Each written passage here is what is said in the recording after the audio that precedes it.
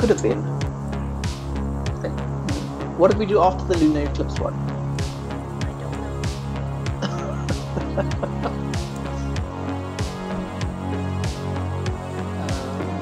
What did we talk about last week? Toby, Oh yeah, the Beatles. Yeah, close. Tobias, and the Beatles. Yeah, I think the Eclipse was the one before that.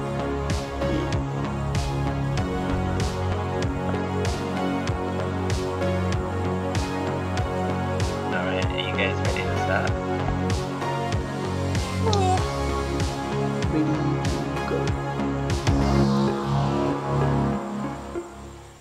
Boom! Alright, welcome Dean Sarah to our book club, Sci Fi on Ice. And this week we are reading book number 11, as recommended by Sarah, called How to Get Back to the Forest by Sofia Samatar. I hope I pronounced that right.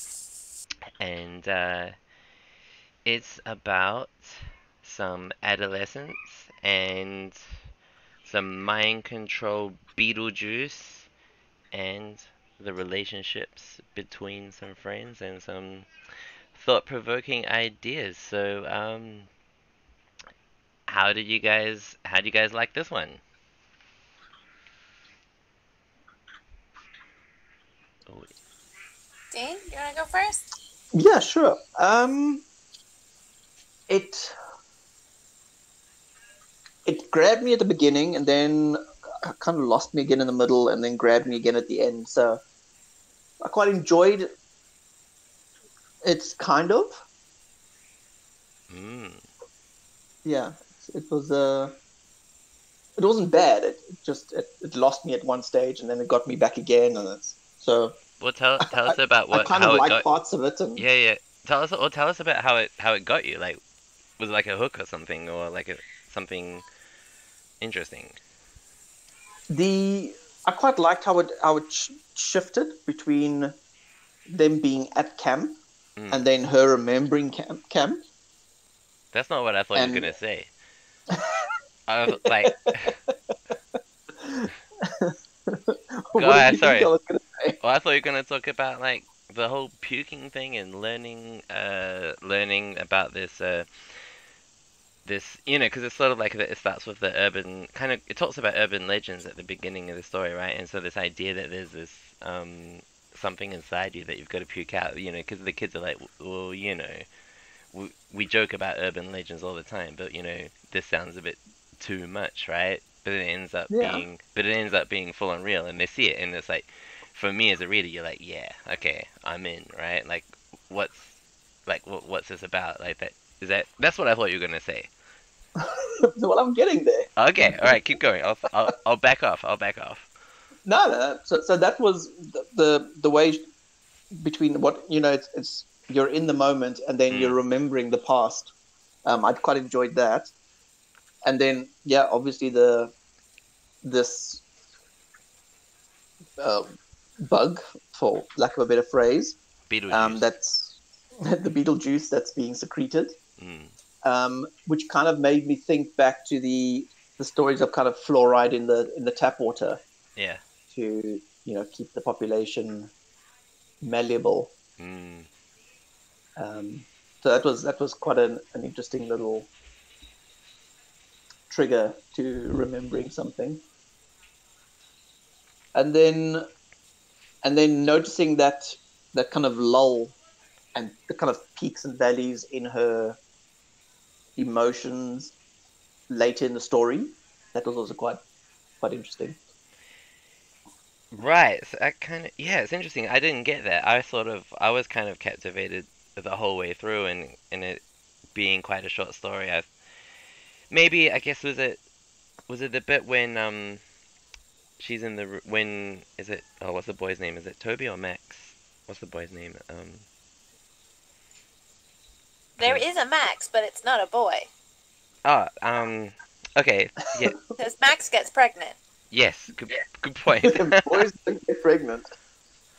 Oh, that okay. That just threw me. Um, and I okay. Uh, yeah. No. Okay. I was going to talk about something else, but okay. Um, No, but I think um, I don't know. I think it like it seemed in nicely to sort of you know what was at stake with um because it's sort kind of for me there was like the theme of liberation, right? Like you what what you would do to get rid of it, and you know because they they're not cool with doing it. They're like even when they see it, they're still like, yeah, we saw it, but I'm still not cool with doing it, and um so I quite I kind of like that. That I thought I thought Well- was yep.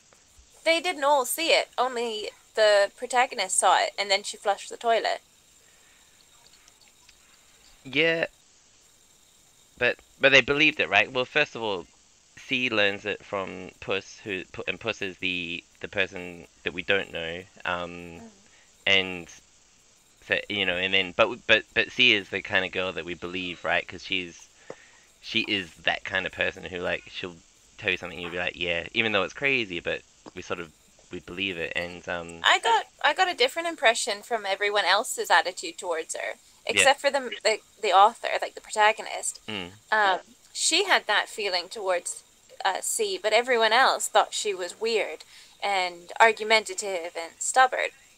mm, Because you can see, I think later on they're like, you know, they said they were friends or something, and she's like, "Oh, I guess we are," um, because it felt to me like C was ostracized by the others, and like she was just this wild card on the outskirts, and everyone was like, "Okay, yeah, you're cool because you don't play by the rules," but everyone's so indoctrinated that they're like they're not really like they don't really like that. yeah, Uh, that the impression I got from her, or I should say, from the others' interpretation of her, because there were quite a few of them in the bathroom that were saying like, "You need to stop," and it and I Mm. didn't get the impression if they were making themselves be sick or they were being sick because someone was being sick.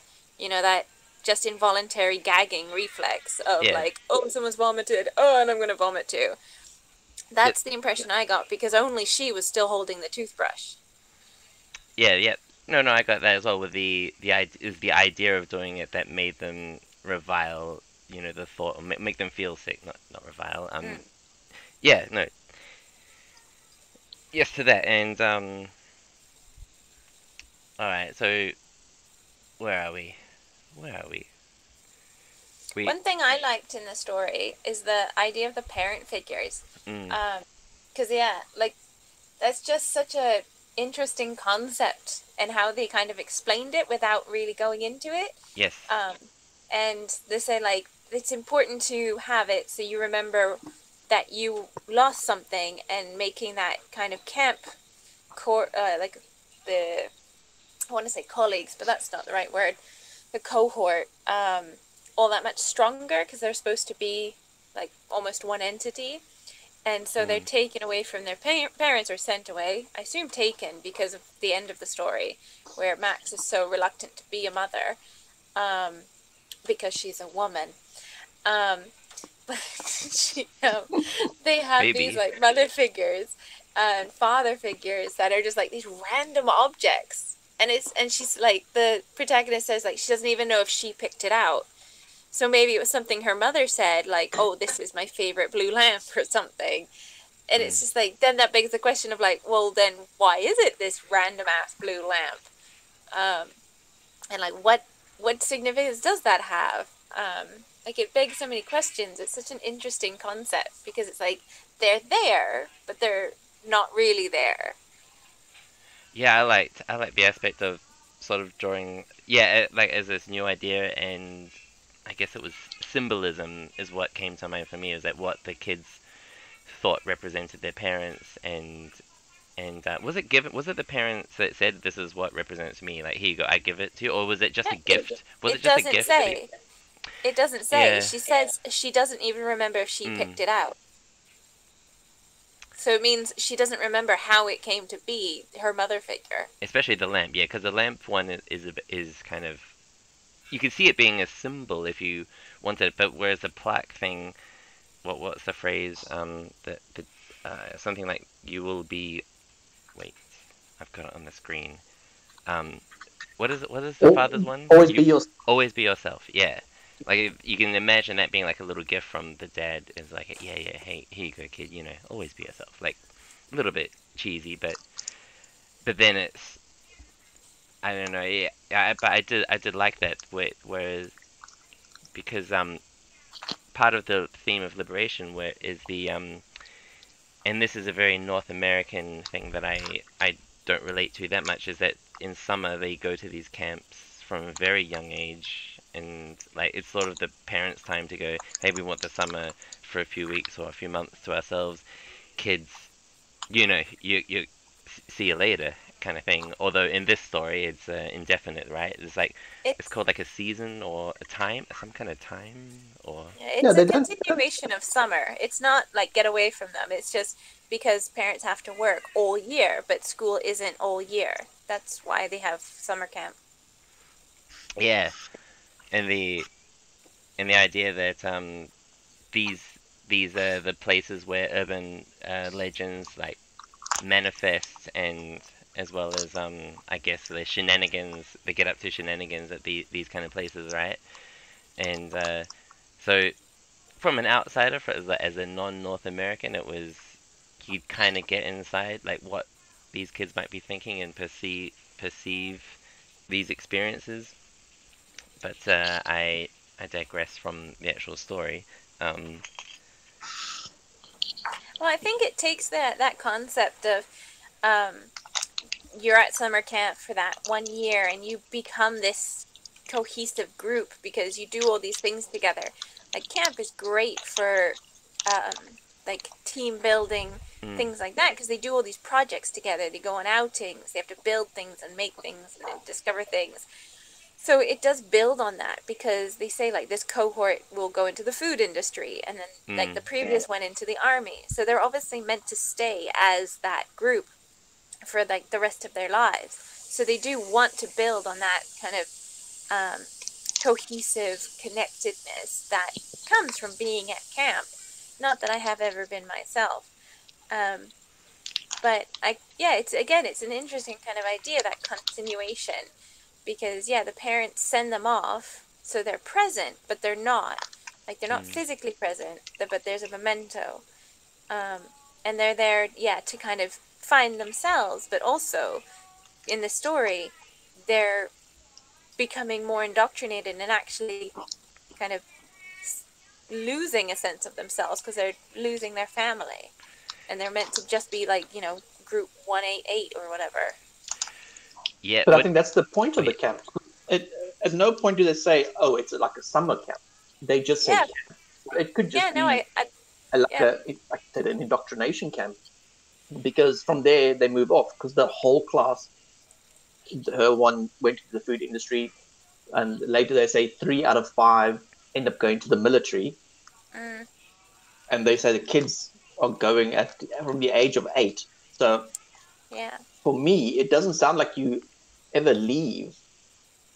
You start you go there as a child and you leave as an adult.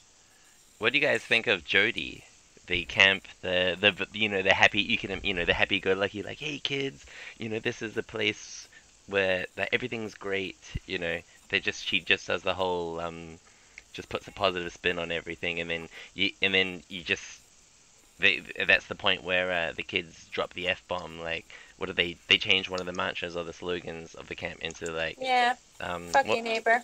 Yeah, that one. I love, I love that because you could sort of relate to that. Obviously, you know, as a kid, you go through that like rebellion sort of thing, and and there is so to, on this is I'm speaking to the indoctrination thing. So on one hand, there's the indoctrination, but then kids also have that natural um, tendency to kind of go, wait, what's going on, you know, and they'll mm-hmm. do they'll do that. Yeah. Now I think I've got the impression like the summer camp was like the transi- transition period because later um, she visits Max. So obviously they're not living together, even though mm. they were in the cohort. Um, but I kind of get the impression that yeah, like Jody is there to assist with this transition period where they were at home with their parents, but now then need to be in the workforce in their allotted role, and it's to kind of get them disconnected from family and working towards the the ultimate aim that there must be.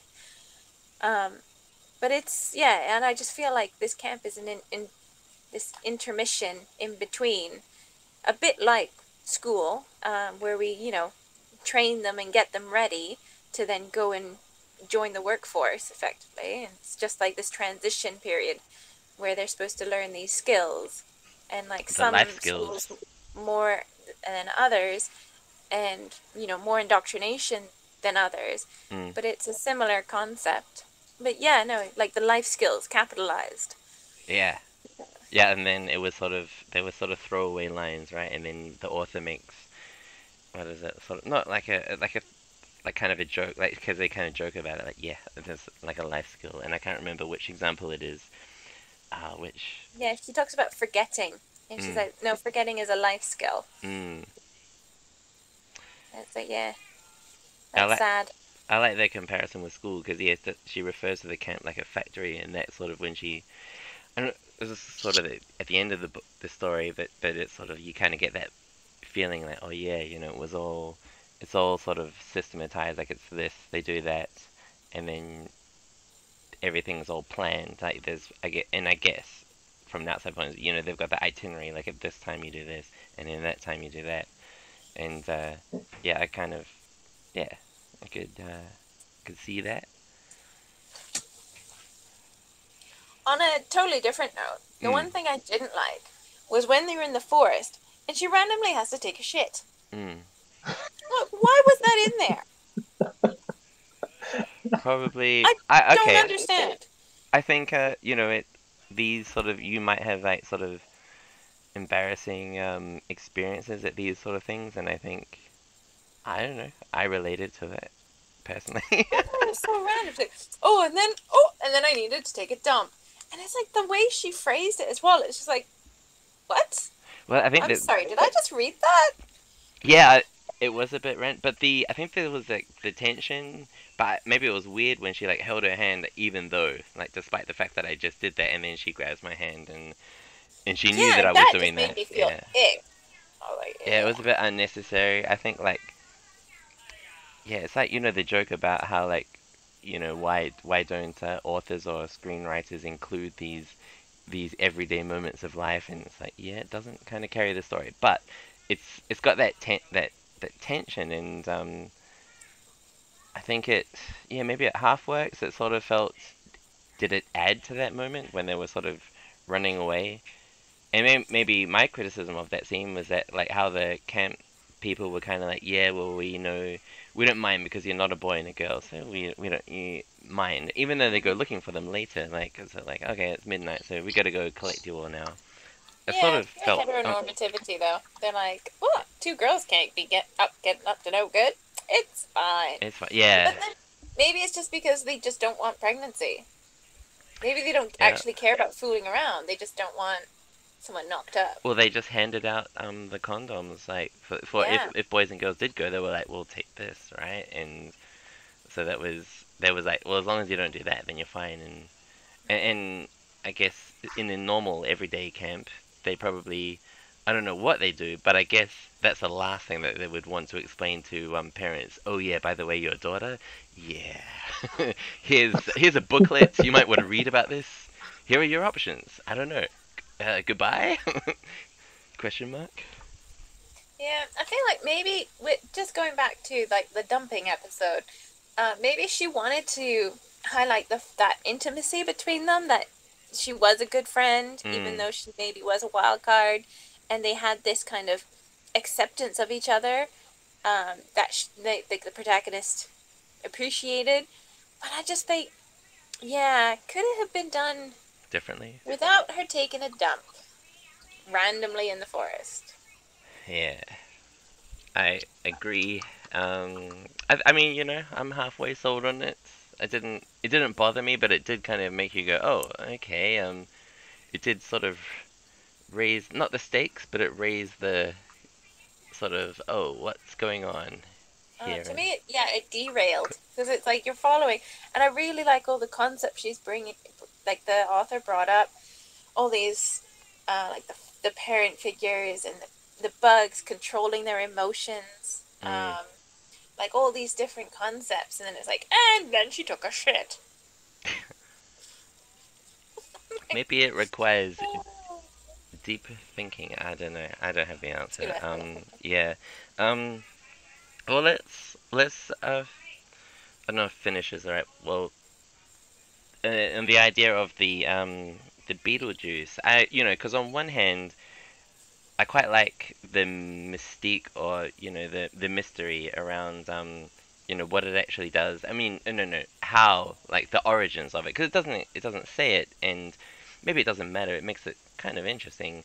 The you know that there's okay, there's this thing inside you, and and and like why is it a beetle? And okay, it it it, it um uh, what is it um secretes this fluid or beetle juice that uh what is it mellows you out so you don't have ADHD because yeah. apparently all kids in the future have ADHD I guess oh, or I, I, didn't get that.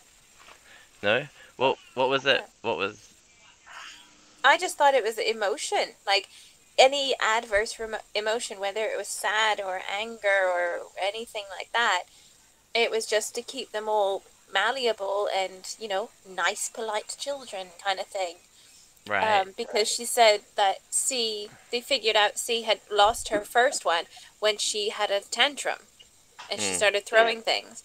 And because she got so overworked, they realized that she didn't have the bug anymore. Yeah. I didn't think it was ADHD, it was just emotion. Oh, I was just an ex- just an example of yeah, of um sort of like a parent can't can't control the kid the way they want cuz if you you know, ideally, like especially you come home from work, the last thing you want to do is um, is deal with um, like tantrums and anything that I don't know that logic can't um, satisfy. You know, um, and I'm probably speaking from personal experience here, where you know you you think, oh, I just do this, or you, you think the hard work is you probably need to do things like do the bonding rather than putting your feet up and you know, like after you, after a hard day at work, you probably want to put your feet up, but, you, but truth is, you you know, you need to do the hard work of looking after your kids, and so it's like a escape for the parents to go, here's a beetle in, inside you, and now you're going to be malleable, and you'll, I'll tell you to go study or clean your room, and you'll do that. But yeah, yeah. no, that's the impression I got. I just thought it was any extreme mm. emotion yeah, and I quite like how when C when it's removed from C when she's has that liberation moment and she's like saying how great it is and how great she feels and and as a reader you're sort of like I don't know, maybe thinking of your own times where you've sort of felt a bit you know, you were jumping from the rooftops. I don't know if you've done that, but I've done it and it felt great. Never jumped from a rooftop, no. Well, jumped on top of a rooftop, no. I, have been on roofs, yes.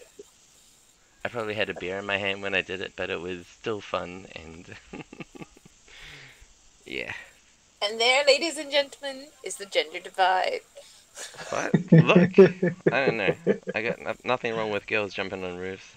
It's just less likely, is my yeah. argument. Yeah. Less, not not gonna hundred percent, just less likely, maybe.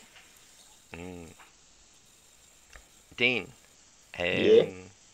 come in and what what what uh contribute. What did you um, think about the dump in the forest? It, it happens. I mean, it's it didn't it didn't really. Breathing happens too, right? It was a bit of comic relief in in a uh, what was probably quite a serious, well, not a serious, but a a very memorable experience, and sometimes it's the the most inundating thing happening that yeah that just kind of cements it. So I mean, if she could have fallen over or whatever, but uh, yeah, it doesn't really. It didn't really. that's not where I got lost. Yeah. For me. Um.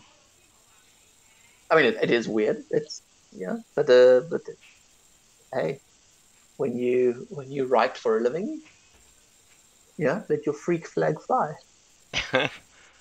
yeah. It's a bit of liberation, a bit of grunge, punk. Some of these themes are coming through. What are they? They even flip off the stars at one point. Is it? Is that right? And you're like, hey, don't do that. Stars are cool. Or they're big balls of fire from some faraway place. To, to be careful. Yeah. Yeah. But yeah, I, I, I, I quite liked the part up until there. So going through the forest, she was quite descriptive, and uh, I mean, it, it, did seem a little pointless then going just to go into this little circle and you know flipping the bird to the their neighbors in the sky. Mm. Um, and then you know it, it comes full circle towards the end where you know she says looking down into the clearing um, but uh, yeah it's listening to her as as an, an older as an adult many years later um, and just how that they've all become aware of oh, every time you get nauseous, you need to go to the doctor, and they they put you over, you, you know, they put you under. Um, but even with that happening, just for mild nausea, I mean, it doesn't trigger anybody's yeah. kind of survival instincts long enough for them to go, uh, something's wrong before the the old Beetlejuice kicks in and goes, mm, everything's fine, just chill. I wish there was like a parallel with the movie Beetlejuice, but I got nothing. I got so it's just it's just a coincidence. That's all it is. But uh, um, oh, so what else we got about the story? I sort of feel like well, it, it feels like she's yeah. busy losing her mind towards the end. Like she's having some serious mental breakdown um, which is not being helped by, you know, this mood stabilizer, which is hmm. intermittent at best, because it, it's not it's not constant. No, I, that's why I think it's just like extreme emotion. Like it's it doesn't affect you kind of day to day, but like if you say got really upset and started crying, or you got into a rage, that's when I I that's when I thought it was kind of like, no, no, no. Go back to equilibrium. Yeah, and if there was, uh, sometimes the, the things like the like removing this bug or this mysterious thing that you don't know that you have, is sort of well, if if it never happened, you know, it would just yeah, like you say with equilibrium, it would just be well, that's the normal, you know, and like if if we today were to find out that we had something and then we removed it, then yeah, our perceptions would be different, but uh, but it's not, and so it's sort of yeah, what what does it say in what is the story telling us, and so that yeah, there's probably a little bit of criticism there, but um, in regards to that, but I still like I still like the um the themes of of liberation and the difficulty of of um what is it what is that word? When you come when you're growing up they're coming to terms with coming of age. Is that the?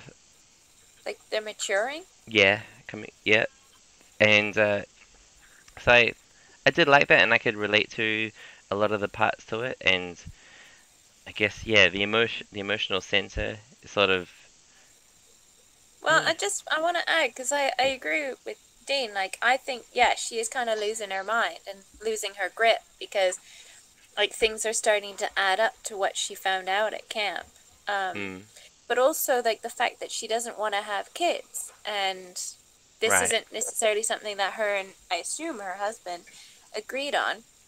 And the fact that Max is so anxious about having a baby because they're going to be generation 8 and they're they know what's going to happen that it, when they're 8 even younger they're going to be taken. That's why I get the impression that they're taken from the parents because hmm no parent would be like, okay, sure, time to go, and off, and like, now time to forget me. Um, and like their anxiety of wanting to continue in this cycle and to be part of it. Um, and they're, you know, wanting to opt out basically, but mm. you know, Max is stuck not being able to choose now. Um, and so, yeah, that kind of pressure of having to contribute because, I mean, like, I have often thought of, like, what is the point of having a child when they're going to have to grow up in the world as it is with, like, the incredible climate change and the toxicity and the negativity and all the hate that's out there and I just think it's it's better if they don't.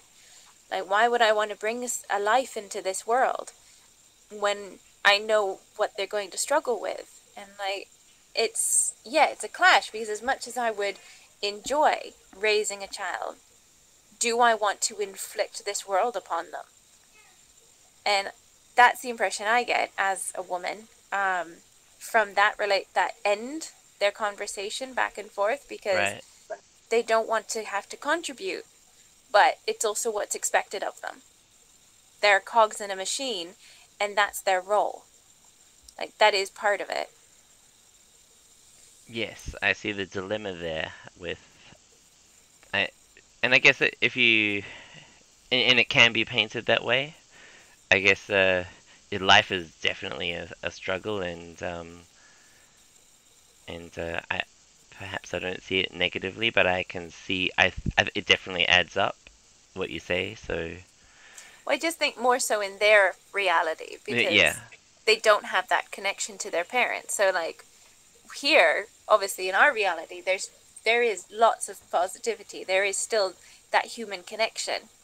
But I think in their reality, that connection is very limited. It's like basically it sounds like it's just their camp cohort, and like that's where the circle ends. Mm. They don't have. Is it what? Is it uh?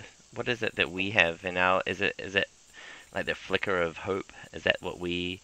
Even though we've got all these trage- tragedies and all the, the, the suffering that we have in our world, is it something about hope that means that we keep we keep uh, keep what is it trudging on yeah. And I think yeah, it just kind of evokes that. To me, it evokes that art, that discussion, that conflict, um, and yeah, because I think that's I I like the story because there's lots of different things that kind of remind you of issues in our reality, um, but it's you know taken to a certain extreme. Um, it's just yeah, even though it's short, I think it brings up a lot of connections. Yeah, no, I, I actually quite liked, uh, considering it was quite short, I quite liked the um, the impact, you know, or how much it was able to cover succinctly and and including the poop scene. But uh, you know, from start to finish, it really did cover a lot. Um, you know, a coming of age where these um, characters experience something quite um, significant and of and as we've discussed, a lot of commentary on on uh, how we structure the world around us, you know, with these little factories of, of um, whether it's school or or um, these summer camps where, and I think I said this before, where I, and I assume that in summer camps the activities are all itinerized. Um, you know, from nine till mm-hmm. ten you do this, and and uh, whereas I don't know, and I mean, and part of me sort of thinks today. I, I'm I'm hoping that camp these days is a little bit more. Oh, I don't know what the word is. Um, I want to say less structured because you know structure is just a part of life, right? But uh, no, but you know, they're, they're probably still timetabled. Yeah. People have jobs to do. But you know that it's more flexible, but with but you know the constraints obviously you know that you don't uh, have daughters get pregnant and you know these sort of rules are there, but at the same time, uh, not, I guess, uh, inhibiting them with, them with these mundane life skills like forgetting and and these. Uh, I feel like the uh, these um what are, what do they call the symbols? The artifacts of the parents are like um something to do with possessions, like you know our children possessions of their parents, and um because the these uh what were they called again? Parent figures. Parent figures. Yeah, the, the parent figures were these uh, symbols of this sort of um let me get this right um nah I'm nah I'm wrong I was gonna say where they come from but but it doesn't do that it's it's sort of some kind of like attached memory to where they where they came from but it's not it doesn't signify where they come from so it's it doesn't work um no I wish I could take that back okay um help me out you guys have anything more to add about the parent figures, or should we move on? No, I mean, I think I said before, like I like it as a concept mm. because, mm. like, parents when you when you go to camp or when you move away from home, like, you have mementos of them. You have the memory without their physical presence, um, and so you're reminded, like, you're constantly aware that there are these people, and you know hopefully you have those positive connotations and you miss them. But they're not essential to you living your life. They're just like these relics of where you came from their memories um, and so like taking that to extreme yeah it's just it's a lamp and a placard it's a book and a and god knows what else mm. um, because it's just all that is what's essential in their reality is that you are aware of what you've lost so that you value what you have. Yeah, and and also the another thing was about um the these new what what do you call these camp what, what are the people what Jody and um what's Hunky Hunky Duncan Duncan yeah the what are they called? Camp. Um, like they're the kind of like the um, they're kind of like the foster parents while while they're there, but they but at the you know, but they're not the real parents, and so. I feel like of them as babysitters. Yeah.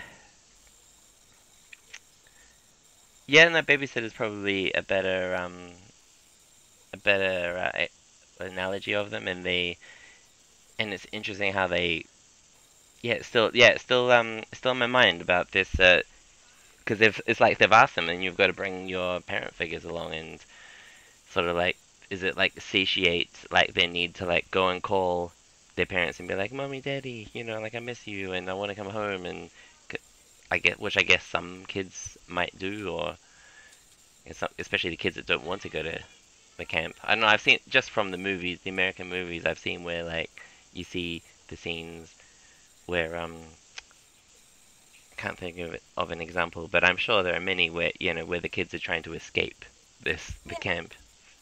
Well, even kids who want to go still get homesick. Everybody yeah. gets homesick. All right, I think okay. I think I've definitely killed that um, concept in the story. Um, anything else we want to add before we move on? Dean, you've been a bit quiet.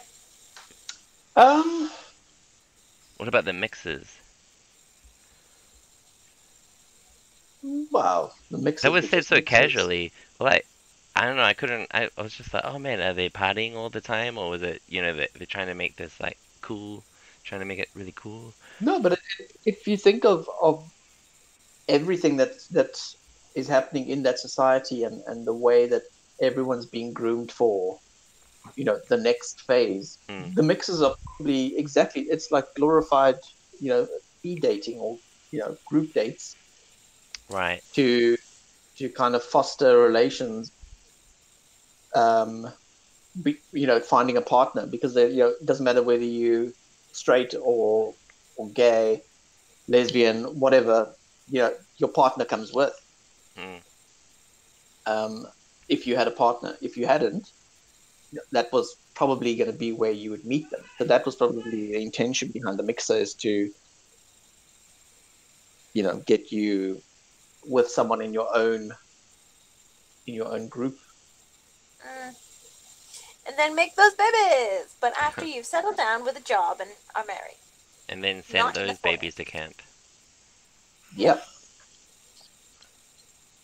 Unless yeah, more, unless more your ki- unless your kids find out about the Beetlejuice. Well, I mean, no, because the kids are indoctrinated Like, and kids are kids are gullible.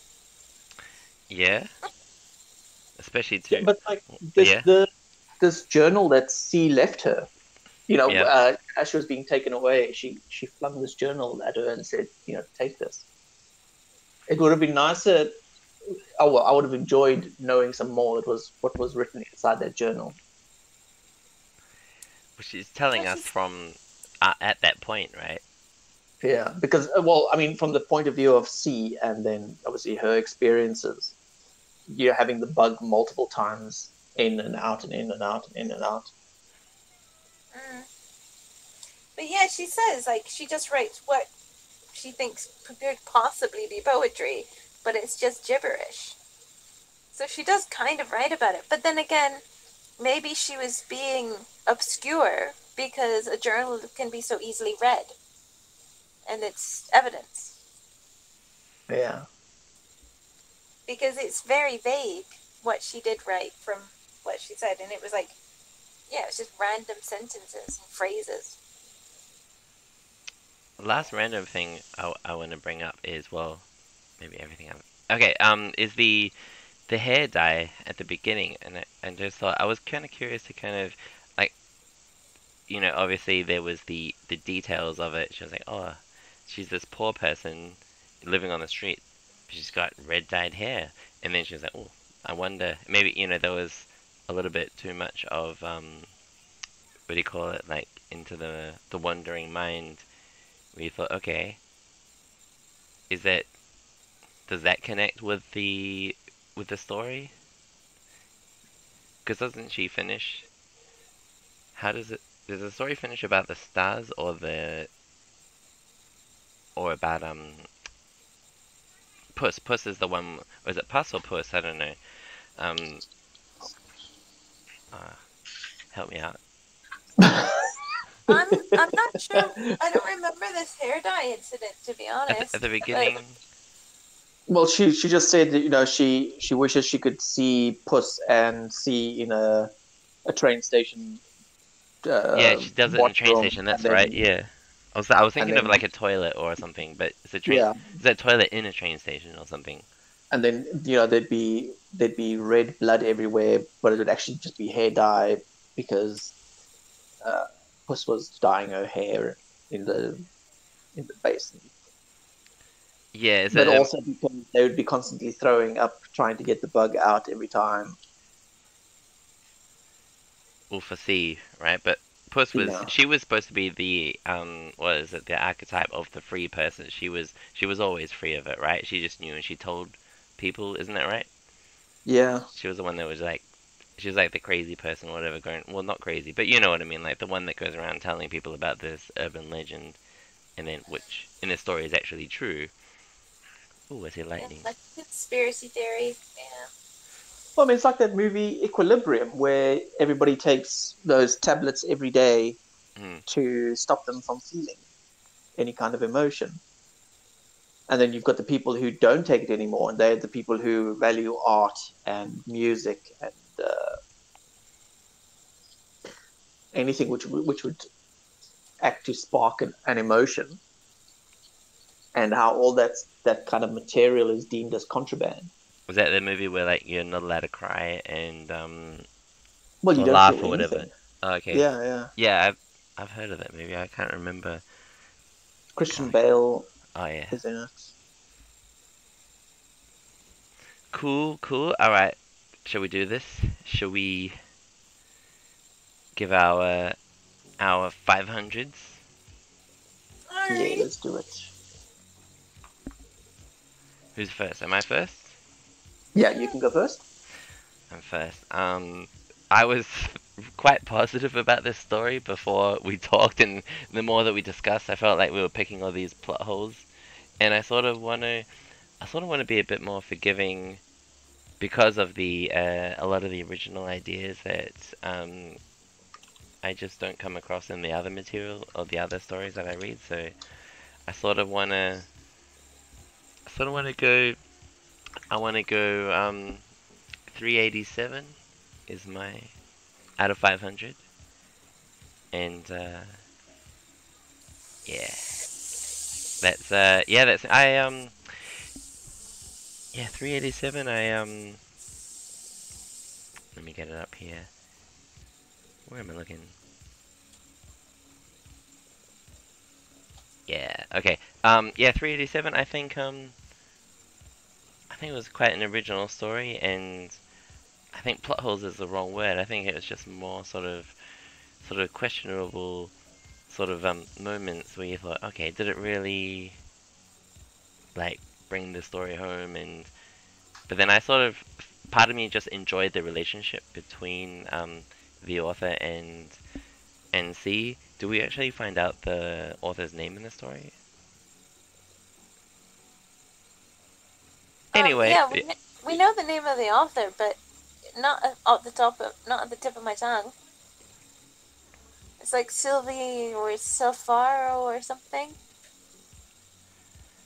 I it's escaped me completely. I don't have. Dean, have you got anything? What's the what's the, is it would be the protagonist, the one who is taking us on this journey? Yeah. Oh, the name of the protagonist. Sorry, no, I don't think we find out her name. You just see and Puss and Pete. Pete is the one that probably wants to have a baby, but she doesn't. And then, as you say, Max. Yeah, Max is the pregnant one.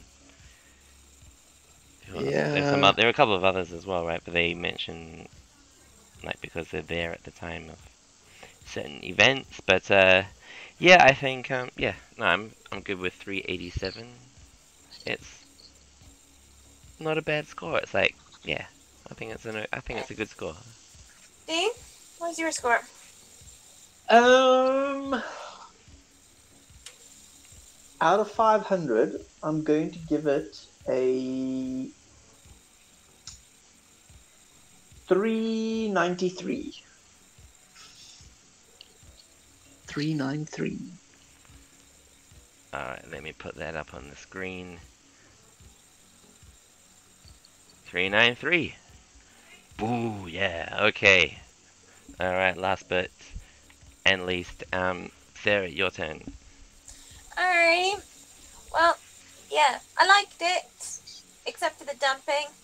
Mm. Um, but despite that, I like the concepts. I like the things it made me think. I like to think. Hmm. So I'm going to give it 401. 401? Alright. Let me.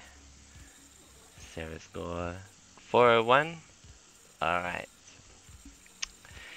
brilliant discussion. I feel I don't know if it's the whiskey or I don't know if it's the I haven't turned the air conditioning on, so I'm sweating a little bit. but uh, yeah, Dean, you said open a window. I did, but I'm still sweating now. Okay. Um. All right. Okay. Fantastic scores. We are gonna go. I can kind of guess by looking at these numbers. Um what our aggregate score is going to be. So, alright, we read How to Get Back to the Forest. Now, I didn't talk about the title. I kind of wish I did, but, um, it kind of tells you a little bit in the title. But, uh, save that for another discussion by Sofia Samatar. Kind of like that last name, but, uh, anyway, so, let's see. I'm going to save that. Alright, and we are going to go for our aggregate score no more total aggregates. I don't know why I ever did that, but uh, yeah, let's have some trumpets for our aggregate score.